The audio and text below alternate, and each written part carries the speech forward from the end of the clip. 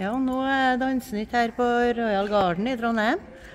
Og vi skal ha en liten prat med Terje Utaker.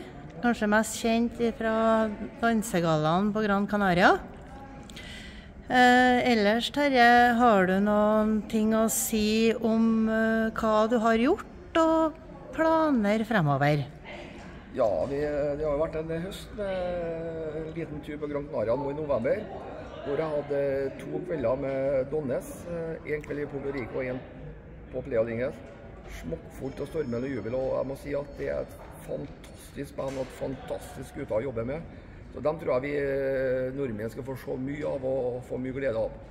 Og så hadde vi to kvelder med Kveler, Rånes og Bremset. Og fulle hus i Puerto Rico, stormende jubel. og Det var veldig bra.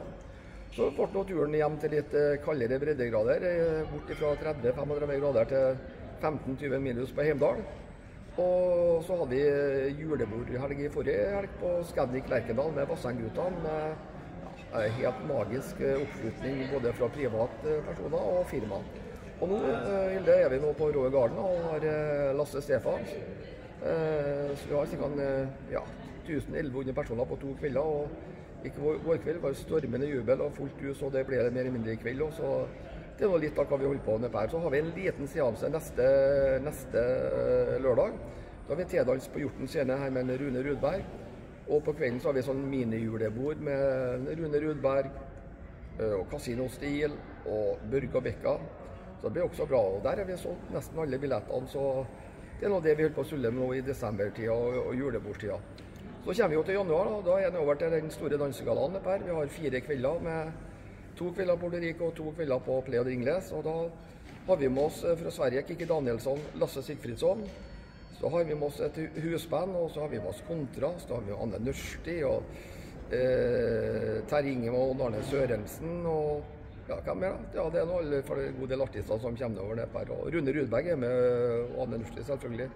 Eh, så det skal bli veldig bra tid. Og så går det jo litt eh, februar. Vi er på å planlegge litt ting og tang der og her hjemme i Norge. Og så kommer vi til først på mars, og da har vi jo, har vi jo eh, Trønderfestivalen. Eh, som blir veldig bra. Vi har tiårsjubileum og mye gode artister som bestandig hadde med oss da. Så går det ut i mai. Da blir det litt sånn eh, bobilfestival på Grogn. Og så i 4-25.